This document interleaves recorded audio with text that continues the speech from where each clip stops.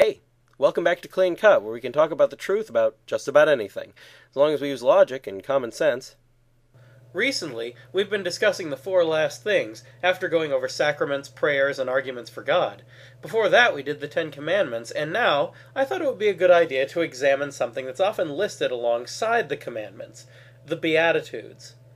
The Beatitudes do share some similarities to the commandments. They appear early in the New Testament, as the commandments appear early in the Old, and they expand our knowledge of the will of God for each of us. However, there are also a fair number of differences. To start with, the Ten Commandments outline what we absolutely need to do and what we need to avoid doing in order to avoid mortal sin. The Beatitudes aren't exactly about that. Instead, they show us ways to obtain the blessings of God, some of which imply heaven. Since our relationship with God should be our first concern, the Beatitudes are very handy for helping us to improve the most important part of our lives. How are the Beatitudes related to our quest for eternal life?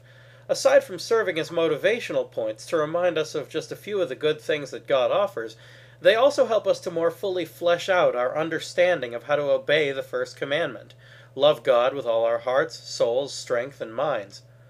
Unfortunately, however, there is a temptation to take the Beatitudes out of context or to misinterpret their meaning in a favorable way, particularly since a thorough examination of their meaning isn't usually attempted.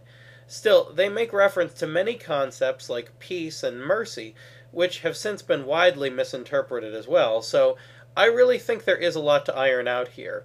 If we're going to use the Beatitudes to help us in our spiritual journey, we've got to understand what they really mean. Each Beatitude contains a blessing for a certain type of person doing a certain type of thing.